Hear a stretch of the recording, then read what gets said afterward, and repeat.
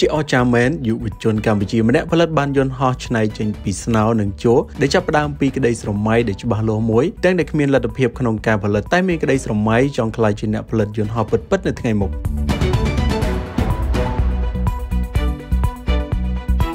លោកជឿនចុននេះដែលជាស្ថាបនិកក្រុមគំនិតបានផ្ដល់បទសម្ភាសន៍មកកាន់ក្រុមការងារ Business Cambodia ដែលសម្ភាសដោយកញ្ញាធីស្រីលក្ខថា គាត់មានក្តីស្រមៃផលិតយន្តហោះតាំងពីក្មេងមកម្លេះទាំងដែលពេលនោះលោកចាប់ចិត្តជាមួយនឹងវិស័យអាកាសចរជាខ្លាំងជាពិសេសគឺយន្តហោះតែម្ដង ជន់នេះយុវជនយន្តហោះក្រដាស់ស្នោបាននិយាយទាំងទឹកមុខញញឹមញញែមថាគាត់បានតាំងចិត្តផលិតយន្តហោះតាំងពីឆ្នាំ2019មកម្លេះដែលកាលនោះគឺអាចកែច្នៃផលិតបានយន្តហោះស្នោដែលមានសមត្ថភាពបញ្ជាឲ្យវាហោះលើអាកាសបានដូចជាយន្តហោះដែលបរទេសកែច្នៃឡើងលក់លើទីផ្សារអញ្ចឹងដែរសប្តាហ៍ថ្ងៃយុវជនជន់នេះអាចច្នៃបង្កើតបានយន្តហោះដល់ទៅ4ប្រភេទឯណោះរួមមាន Boeing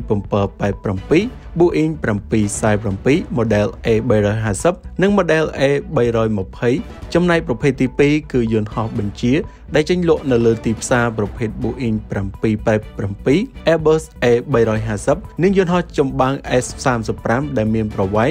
68សង់ទីម៉ែត្រជាមធ្យមសម្រាប់យន្តហោះខ្នាតធំនិងបំពាក់មុខងារពិសេសពិសេសអតិថិជនអាចធ្វើការកម្មង់តាមតម្រូវការបានក្រៅពីការច្នៃបង្កើតយន្តហោះនេះយុវជនជន់នេះក៏មានគម្រោងផលិតដ្រូនសម្រាប់ប្រើប្រាស់នៅក្នុងវិស័យកសិកម្មផលិតគ្រឿងអេឡិចត្រូនិកដូចជាម៉ូទ័របូមទឹកម៉ូទ័រជំរុញទឹកតាមផ្ទះនិងម៉ាស៊ីនបោកខោអាវតាមផ្ទះទីដែរក្តីស្រមៃទៅថ្ងៃមុខរបស់យុវជនជននេះបើមានលទ្ធភាពគ្រប់គ្រាន់និងមានអ្នកវិនិយោគទុនគាត់មានគំរូនិងគម្រោងផលិតនៅគ្រឿងអេឡិចត្រូនិកជាច្រើនទៀតដែលអាចជំនួសការងារមនុស្សបាន ជាពិសេសចង់នាំផលិតផលកម្ពុជាឲ្យទៅឆាកអន្តរជាតិថែមទៀតទោះបីពេលនេះគាត់ពុំមានលទ្ធភាពគ្រប់គ្រាន់ក៏ដោយ